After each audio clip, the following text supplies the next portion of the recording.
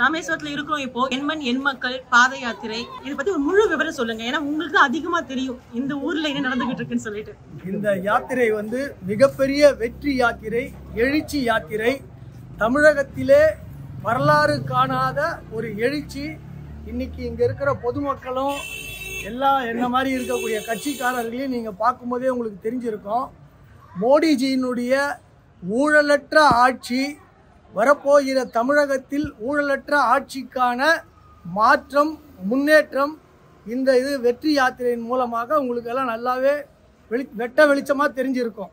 எங்களுடைய மாநில தலைவர் இளம் சிங்கம் மக்கள் செல்வர் அண்ணாமலைஜி அவர்கள் பொறுப்பேற்ற நாள் முதல் கொண்டு இன்று வரை தமிழகத்தினுடைய நல்ல வழி அதாவது ஊழலற்ற ஊழலே ஊறி இருக்கிற தமிழகத்தில் ஊழலை ஒட்டுமொத்தமாக ஒழிக்க வேண்டும். ஒரே முழு மூச்சோடு செயல்பட்டு கொண்டிருக்கிறார்.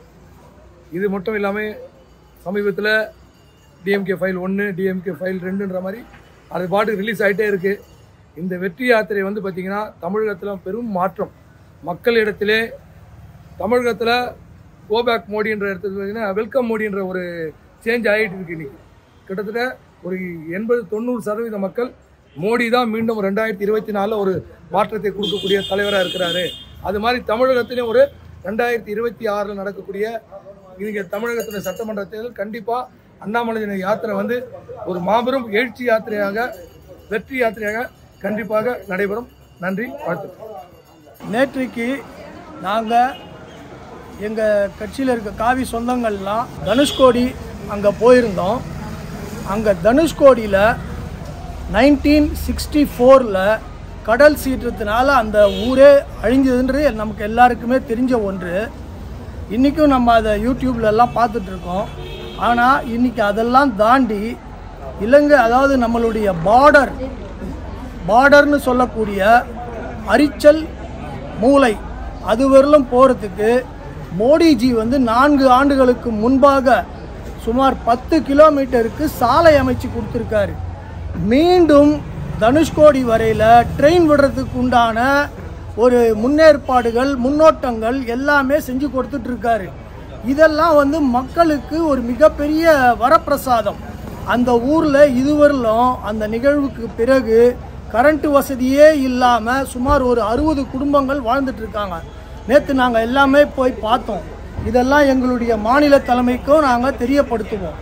அவங்களுக்கு மோடிஜியினுடைய இதை வந்து ஒரு பெரிய இதுவாக அவங்களே சொல்கிறாங்க இதெல்லாம் வந்து ஒரு பெரிய எழுச்சி. கண்டிப்பாக வந்து மக்கள் வந்து ஒரு மாற்றத்தை கொடுப்பார்கள். மாற்றத்தை எதிர்பார்த்து மக்கள் இருக்கிறார்கள் அப்படின்றதுக்கு இதெல்லாம் ஒரு மிகப்பெரிய சான்று.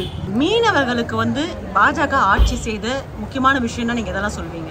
ஏங்க இன்னைக்கு நிம்மதியாக வந்து ஃபிஷர்மேன்ஸ் எல்லாம் போயிட்டு ஷிப்பிங் போட்டிங் எல்லாமே பண்ணுறாங்க அவங்களுக்கு வந்து ஒரு செக்யூர்டு இது இருக்குது அவங்களுக்கு ஜிபிஎஸ் இதெல்லாம் கொடுத்துருக்காங்க. கவர்மெண்ட் வந்து எல்லா விதத்துலேயும் அவங்களுக்கு ஒரு உற்ற துணையாக மோடியினுடைய ஆட்சி அமைஞ்சிருக்கு. மீனவ நண்பர் அப்படின்னு சொன்னால் புரட்சி தலைவர் எம்ஜிஆருக்கு அப்புறம் மோடிஜியை தான் முழுக்க முழுக்க நம்பிக்கிட்டு இருக்காங்க. தமிழகத்தில் அண்ணாமலைஜி தலைமையில் மீனவர்கள் எல்லாம் மிக்க சந்தோஷமாக இருக்காங்க.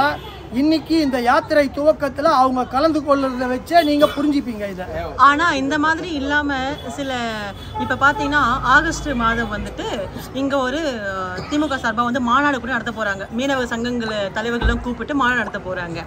ஆனாலும் எவ்வளவுதான் வந்துட்டு நீங்க இவ்வளவு நடந்திருக்குன்னு சொன்னாலுமே கூட இப்ப வரைக்கும் வந்து சமீபத்தில் ஒன்பது பேர் கைது பண்ணாங்க மீனவர்கள் அப்படின்ற ஒரு இஷ்யூ இருக்கு இல்லையா? அப்படி பார்க்கும்போது எப்படிப்பட்ட பாதுகாப்பு வழங்குச்சு அப்படின்னு சொல்ல முடியும் பாஜக? பாதுகாப்பு வழங்காம இல்லைங்க நீங்க இந்த இது கேட்டிங்களே ஆகஸ்ட் மாதம் அவங்க வர வச்சு நடத்த போகிறாங்கன்றத நீங்களே சொல்லிட்டீங்க. இன்னைக்கு நாங்கள் வந்து யாரையும் கூப்பிடல. அவங்களா வராங்க. இதெல்லாம் தானாக சேர்ந்த கூட்டம். நாங்கள் வந்து கோட்டருக்கும் பிரியாணியும் கொடுத்து யாரையும் இங்கே கூப்பிடல. எல்லாம் அண்ணாமலைஜி மேலே நம்பிக்கை வச்சு தானாக சேர்ந்த கூட்டம். இது மிகப்பெரிய எழுச்சியான ஒரு இது. இதில் மாற்று கருத்தே இல்லை. எதிர்வரும் பாராளுமன்ற தேர்தலில் மாண்புமிகு பாரத பிரதமர் ராமநாதபுரம் பாராளுமன்ற தேர்தல் தொகுதியில் போட்டியிடுவதாக செய்தி வந்துள்ளது. அதை பத்தி இல்லை இதுவரையிலும் அது வந்து ஒரு இதுவாக சொல்லலை. இது வந்து ஒரு ரூமராகவே தான் இருக்குது அப்படி ஒருவேளை நமது பாரத பிரதமர் நரேந்திர மோடிஜி இங்கே நின்றார்னா நமக்கெல்லாம் அது ஒரு பெரிய கிஃப்ட்டு அவரை வந்து எதிர்த்து நிற்கிறவங்க கண்டிப்பாக எங்கே நின்றாலும் டெபாசிட் கிடைக்க போகிறது இல்லை. இந்தியாவில் எங்கே நின்றாலுமே உலகத் தலைவர்களே அவரை வந்து வரவேற்று காலில் விழுந்து இது பண்ணுறாங்க அதனால் வந்து நமக்கு தான் பெருமை தமிழகத்துக்கு தான் அது பெருமை சேர்க்கும்.